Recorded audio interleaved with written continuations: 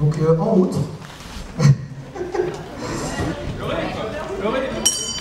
C'est de l'impro.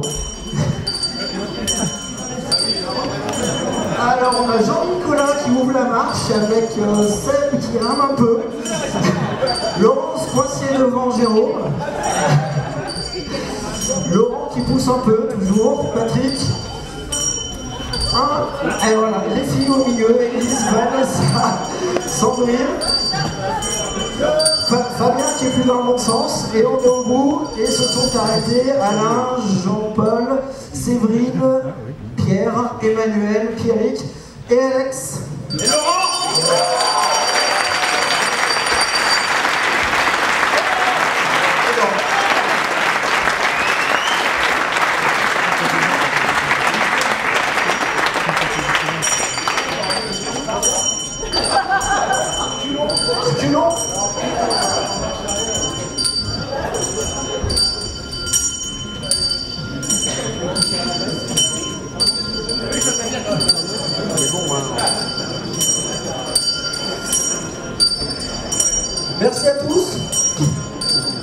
Euh, je laisse la main à Sopra, notre deuxième sponsor qui va vous faire sa présentation. Merci.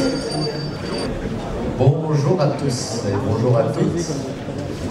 On est encore ravis de participer à cette journée avec vous. C'est toujours un moment privilégié, un moment d'échange, un moment de partage où on peut se permettre de réfléchir, de se remettre en question. Je me présente, je m'appelle Jean-Sébastien Félix, je travaille pour la société Soprasteria depuis quelques années. Et au cours de bah, toutes ces années, j'ai pu participer à des projets dans différents cadres, des cadres traditionnels, des cadres aussi plus agiles. Et c'est ça qui est riche. Aujourd'hui, l'agilité, c'est euh, quelque chose qui est omniprésent dans notre quotidien. On l'utilise tous les jours. Et euh, ce qui est intéressant pour nous, c'est les valeurs que ça véhicule. C'est finalement, c'est centré sur les individus, sur les gens. C'est ce qui nous, anime et c'est ce qu'on souhaite défendre. Je ne vais pas vous faire un long discours, simplement vous partager quelques idées, quelques pistes de réflexion qu'on a en ce moment qui nous animent. Aujourd'hui, on travaille tous en équipe. Nos équipes, eh ben, elles sont composées de plein de personnes, de plein d'individus différents qui viennent de différents horizons, avec des attentes, des envies différentes. On travaille de plus en plus dans des équipes élargies. Une équipe élargie, c'est une équipe où tous les équipiers, ils viennent de différentes sociétés, de différents services, de différentes entités. C'est ce qui fait la richesse de notre quotidien et, c'est ce, ce qui nous plaît, c'est de travailler tous ensemble. Donc à ce moment-là, les valeurs agiles, on les a, on les connaît, sont ori- orientées vers l'humain, vers euh, les échanges. Et on définit un cadre, un cadre agile large, un cadre qui va être propice à la performance, qui va être motivant. C'est indispensable et c'est ce qu'on souhaite faire, on souhaite euh, prendre du plaisir dans notre cadre de travail. Malheureusement, tous les projets qu'on fait, eh ben, il y a des petits grains des petits écueils qui arrivent au fur et à mesure et ils viennent dans les rouages de nos projets. Je peux vous en citer quelques-uns. Euh, notre product owner, par exemple, qui, qui est un peu moins présent au fil, euh, au fil du temps. Notre product owner qui va nous dire, euh, lors du sprint planning, cette petite phrase qu'on a tous entendue Ah bon, vous ne pouvez pas prendre cette fonctionnalité, je pensais que vous étiez agile. Ah, ouais. Le, le product owner, à un moment donné, il va aussi peut-être nous dire euh, il va, toutes les fonctionnalités, il va vouloir les, les prioriser de façon haute dans un sprint. Ça va nous faire tiquer, ça va, commencer à nous embêter. On va avoir un Scrum Master qui va parfois être un petit peu trop nubilé par ses burden charts, par, son, par ses petits euh, tableaux de reporting. Il va les afficher en plus euh, dans l'open space. Il sera super content, mais il aura peut-être un peu oublié l'essence de son, de, son rôle. Les équipiers, ils vont être moins engagés, un petit peu moins impliqués. C'est toutes ces petits grains de sable, ils vont arriver vers, va déboucher vers des tensions. On va commencer un petit peu à avoir, euh, à, à se méfier un peu les uns des autres, à peut-être apporter aussi du jugement. Tous ces petits grains de sable qui viennent s'accumuler plus ou moins rapidement, et ben à un moment donné, ils vont déboucher sur euh, quelque chose de classique. C'est qu'on va commencer à vouloir maîtriser le risque. Mais c'est humain, c'est normal. Hein. C'est notre ami Maslow qui nous le dit, c'est les besoins primaires des individus. C'est de pouvoir avoir ce besoin de sécurité. Donc, à, tout, à, chaque niveau, individuellement, on va vouloir sécuriser au niveau des équipiers, au niveau de différentes parties prenantes des projets. Et ça, ça va nous apporter cette sécurité, mais quelque part, ça va être au détriment d'autres choses. On va revenir finalement vers quelque chose de connu, vers un cadre un peu plus traditionnel, un modèle un peu plus directif. On va se sécuriser comme ça.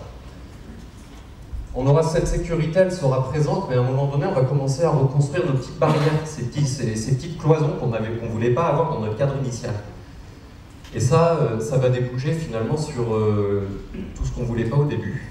Un mode de négociation qui va revenir dans le projet, des échanges qui vont être plus compliqués. On va séparer les responsabilités alors qu'on était tous engagés, on était tous ensemble. Finalement, le cadre initial qu'on avait euh, souhaité au début, il explose. On, s'est sécurisé, on est content, mais peut-être quelque chose, on a oublié quelque chose. On a laissé quelque chose en route. On, est, on, a fait, on, est revenu sur un cadre plus traditionnel. Face à ça, il faut juste se poser et revenir aux bases. Et les bases, c'est les valeurs agiles. Les valeurs agiles, on en a quatre.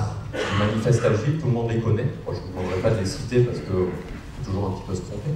Mais sur ces quatre valeurs agiles, il y en a trois qui sont fortement orientées vers l'individu. Le changement, les interactions, les échanges, la collaboration, le partenariat. C'est ce qu'on souhaite faire, c'est créer ce climat de bien-être entre nous.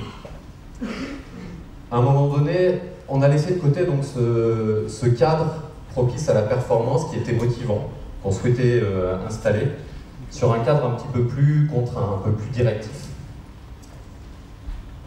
Malheureusement, euh, on s'est laissé de côté une partie, des, partie du fonctionnement des individus, c'est que les individus, c'est nous tous, on a des compétences, c'est important, on les acquiert au fil du temps, mais à un moment donné, un individu, une personne, c'est avant tout sa motivation qu'il faut défendre. Je pense que c'est indispensable et, on le laisse parfois un peu trop de côté. La motivation, il faut, il faut la défendre.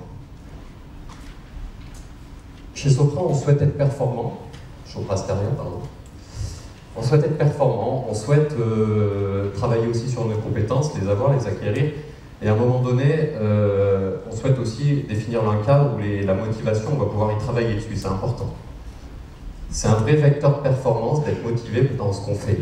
Et finalement, c'est aussi une source de plaisir.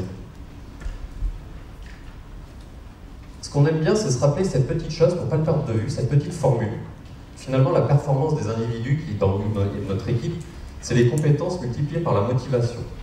En revenant sur un cadre un petit peu plus traditionnel, on s'enlève finalement cette motivation qui est vecteur performance. Ce qui va être intéressant aussi, c'est que la motivation va, va, va, entraîner aussi la performance, et finalement, c'est le plaisir, tout le monde a envie d'être performant. C'est une vraie source de plaisir. Pour, euh, pour continuer un peu à, parler de, cette motivation, l'objectif c'est de savoir sonder, c'est de savoir sonder aussi nos équipiers et de le garder en tête. Pour, euh, vous parler de cette motivation, comment agir dessus, je vais distinguer trois phases. On a trois phases euh, au, cours de, au cours de notre vie, il y a trois phases dans notre carrière. On pourra se retrouver dans ces différentes phases au fur et à mesure. Et les compétences, au début, on ne va pas les avoir dans la phase pionnière. La phase de croissance, on va les, continuer à les acquérir. Et finalement, la phase de maturité, ben, c'est là où on aura toutes les compétences, on les maîtrisera tous. Mais sur chaque phase, il faut être conscient que la motivation, il ne faut pas la perdre de vue.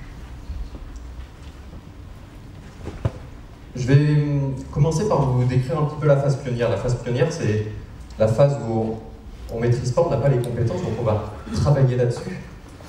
Mais on va essayer aussi avant tout de garder la motivation de ces personnes hautes. On va vouloir les amener vers la phase de croissance. Si on est dans un cadre un peu trop contraint, où la communication, les cloisons sont revenues, ben, les personnes qui vont se trouver là-dedans, ils vont peut-être avoir moins accès à l'information. Ils vont se sentir un petit peu bridés. Et à un moment donné, on va les empêcher d'aller vers la phase qui est quand même une phase de bien-être, c'est la phase de croissance. Cette phase de croissance, c'est la phase où les compétences, on les acquiert. Elles sont, euh, elles sont, et on se motive à les avoir, on est et la motivation est haute. Cette motivation, il va falloir la garder, la maîtriser parce que à un moment donné, c'est souvent ces personnes qui se trouvent dans nos projets, dans nos équipes, c'est ces personnes qui se trouvent dans cette phase-là qui vont être vraiment vecteurs de valeur et nous apporter plein d'idées, des idées sur lesquelles on n'aurait pas toujours pensé. Donc si on, est encore sur ce cadre un peu trop contraint, un climat pas agréable, la personne n'est pas se lasser, elle va peut-être pas avoir envie de nous proposer ces nouvelles idées, ces nouvelles choses, ces nouvelles, ces innovations. La motivation, c'est vraiment une source importante à garder en tête. La phase de maturité, ça va être la phase à risque. Ça va être une phase euh, finalement qui où on risque de, se lasser parce que les compétences on les a, mais euh, on fait un petit peu toujours la même chose. C'est souvent nos piliers, les piliers de nos équipes qu'on laisse dans nos équipes pour sécuriser nos projets, mais finalement on leur on s'enlève la possibilité qui nous apporte de nouvelles choses. Il va falloir leur retrouver une dynamique. Ce qui est important, c'est vraiment de, garder en tête que la performance et la motivation, ça sera, elles seront au service aussi de l'équipe et des individus.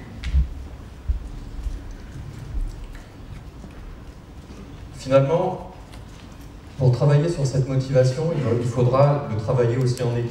Dans nos équipes élargies, il faudra être capable de prendre des risques pour parfois euh, modifier un petit peu les rôles, les responsabilités des gens, mettre des gens en situation, leur permettre de, de trouver une nouvelle dynamique, d'avoir une visibilité et l'opportunité de grandir. C'est ce qu'on souhaite défendre. Il faudra être capable de parler vrai dans nos équipes. C'est indispensable pour conserver aussi notre cadre, ce cadre idéal, ce cadre performant.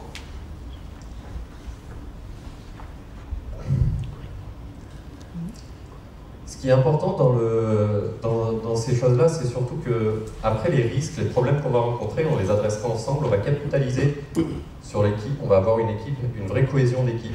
On va travailler à grandir tous ensemble. Et finalement, c'est ce qui va, euh, va être euh, vecteur de valeur et ça va, on va, on, on risque, c'est, on risque de rentrer dans quelque chose de vertueux, que la motivation et que la performance s'entraînent et que tout le monde travaille les uns pour les autres. Ce qu'on souhaite défendre. Pour, euh, pour terminer, je voudrais simplement dire qu'il faut conserver ce cadre. Il faut y travailler tous les jours parce qu'il sera bénéfique pour le projet et il sera bénéfique surtout pour nous, pour vous, pour les individus. Les valeurs de l'agilité, elles sont là pour nous le rappeler, il faut toujours y revenir parce que finalement, il faut qu'on prenne du plaisir à travailler tous ensemble. Maintenant, pour, euh, pour conclure, bah, je, on vous invite tous à nous rejoindre au stand d'école pour parler de, ces choses, pour évoquer ensemble la performance, la motivation, qu'il ne faut surtout pas oublier.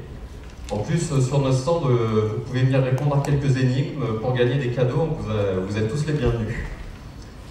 Et avant de vous laisser, bah, je voudrais remercier tous les collaborateurs Soprasteria qui ont participé à cette journée, qui ont été libres de proposer leurs idées, qui ont été motivés à ça. Et c'est grâce à eux que finalement on est encore là aujourd'hui euh, avec vous. Merci à tous.